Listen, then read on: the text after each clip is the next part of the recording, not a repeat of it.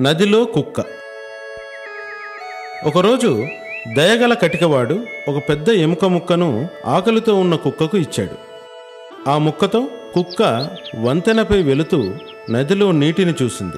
ఆ నీటిలో పెద్ద ఎముకను నోట కరిచి పట్టుకున్న ఇంకో కుక్క కనిపించింది. దానికేం తెలుసు అది తన ప్రతిబింబమని? దాన్ని చూసి అది ఇలా అనుకుంది. ఖచ్చితంగా ఇది వేరే కుక్క. అరే ఆ కుక్క వద్ద ఎంత పెద్ద ఎముక ముక్క ఉన్నది? నాకు కూడా ఎంతో ఆకలిగా ఉంది. నేను ఆ కుక్కను గట్టిగా అరిచి బెదిరిస్తాను. అది భయపడి ఆ ఎముకను వదిలేసి పారిపోతుంది. అప్పుడు ఆ పెద్ద ఎముక నాకే సొంతమవుతుంది. ఈ విధంగా ఆలోచించి వంతెనపై గల కుక్క గట్టిగా అరవడం ప్రారంభించింది. అంతే. నోట కరచి పట్టుకున్న ఎముక నది నీటిలోకి పడిపోయింది.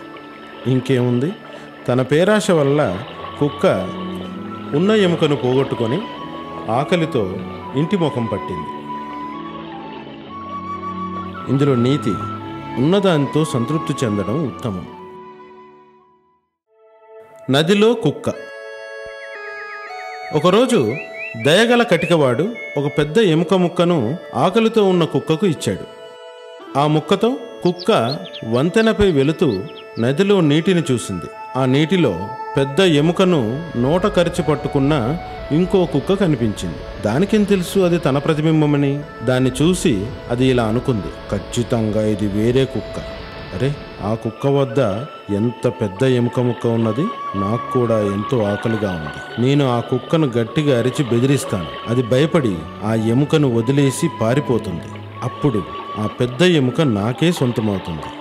ఈ విధంగా ఆలోచించి వంతెనపై గల కుక్క గట్టిగా అరవడం ప్రారంభించింది. అంతే నోట కరచి పట్టుకున్న ఎముక నది నీటిలోకి పడిపోయింది. ఇంకేముంది? తన పేరాశ వల్ల కుక్క ఉన్న ఎముకను పోగొట్టుకొని ఆకలితో ఇంటి ముఖం పట్టింది. ఇందులో నీతి ఉన్నదానితో సంతృప్తి చెందడం ఉత్తమం.